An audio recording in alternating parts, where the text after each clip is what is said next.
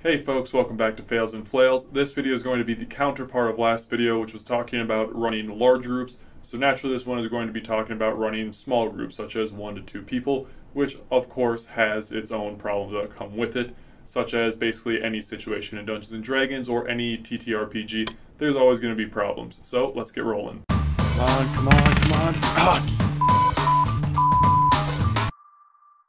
The first thing that needs to be said is the campaign is going to vary greatly depending on what class the a singular player is going to be playing as. For instance, if they're a rogue, then it's likely going to be set in a city and it's going to involve a lot of crime, theft, sneaking around, and such like that. If they're playing a ranger or a druid, then perhaps they're trying to protect a forest from invading orcs or some other mysterious power. If they're playing a bard, then maybe the campaign is following the story of how they're trying to become a famous entertainer and also them having to deal with the consequences of their all too common practice of chasing down romantic partners. If they're playing a paladin or a cleric, maybe they're just trying to spread the word of their deity, and so on. Of course, if you have two players, then it's going to be maybe some kind of mix of that, but keep in mind, especially with one player, the campaign is going to be very heavily reliant on how you set it up with what class they choose. Continuing from that, encourage your player or players, if you have two, maybe even three, although at that point you kind of have like a much more stable group, but especially encourage your player players to help build the world.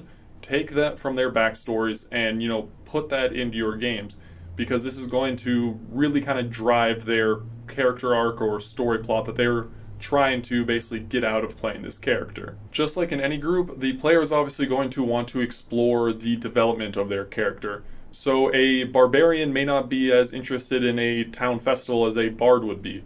Or uh, let's say a warlock may not be all that interested in possible heretics or cultists and what up springing up over here, whereas a paladin would be. So keep these kind of things in mind, especially when you're setting up your plot hooks and all the different like, little side quests and even the main plots in the main quest that you're setting up. The final note for role playing with a small group is that you, as the game master, are going to have a much larger role. Uh, obviously, in a normal group with maybe four or five people, the, you know a lot of the players are going to be talking amongst themselves, planning, role playing. If you have just one other player, that's not going to be happening because obviously there are no other players for them to role play amongst themselves. So this means that it's basically a constant back and forth with, between you and this one or two other persons.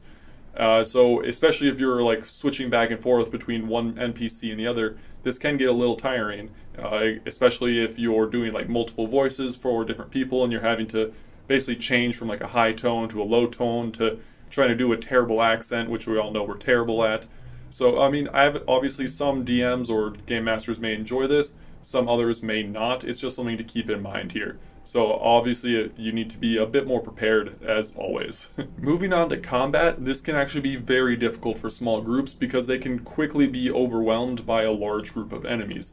I'm currently playing a or DMing a campaign for a single player who is playing a rogue and this actually makes it a bit easier because a lot of what they are doing is stealthing around, trying to sneak and never be caught uh, which also includes trying to basically set up distractions in one area so they can get to you know point B without being seen. So it's actually not that difficult with a rogue because obviously they're highly reliant on stealthing around and sneaking and all that stuff. But such a thing like with a fighter or a barbarian, it's going to be a lot more difficult because obviously their bread and butter is swinging their sword. The action economy is going to be stacked against your players more often than not because there's never going to be just one guard standing watch over a place, or there's never going to be just two or maybe three goblins in that single cave there. So you ha- have to kind of keep this in mind there and know that, especially at low levels, combat is going to be fairly difficult and very dangerous for your singular player or players. Uh, for this same reason, you know, even though at like level five or six, you know, a normal group of adventurers could take on a young dragon, but that's definitely not going to be the same for a level five or six singular adventure because obviously they are at a huge disadvantage there. The biggest problem with running a game with just a singular player is likely going to be that once they get knocked down to zero HP, that's basically it for them because they don't have any allies who can heal them and get them back up and going. They're unconscious for an hour until they stabilize. And so you may want to avoid monsters like uh, beasts or anything with low intelligence, which would naturally just eat them once they're out cold.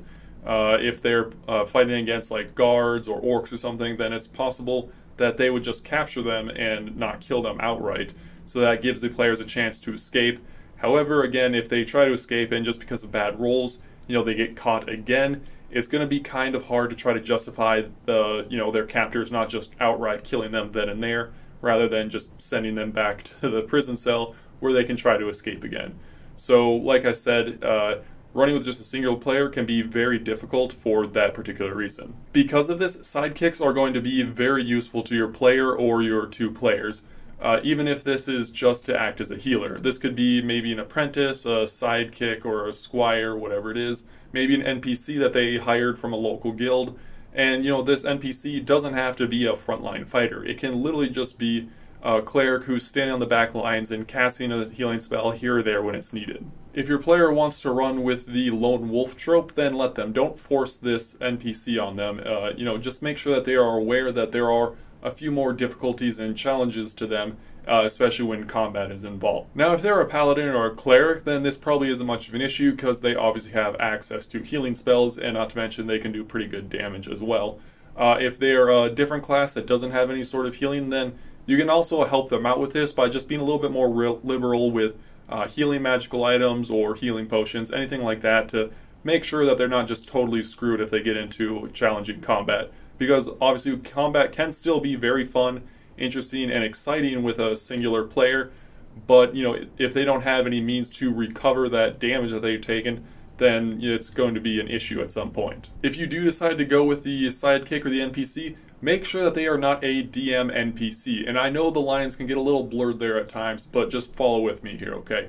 This NPC should not be trying to outshine the singular player that you have or outdo them in any sort of way. They're a support character entirely.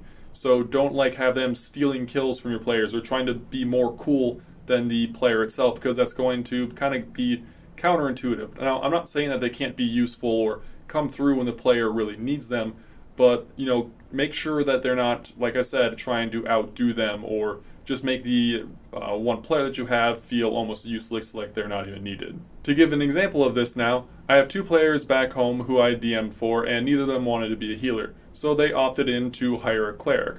This cleric was terrible with a mace but pretty good with his spells and healing.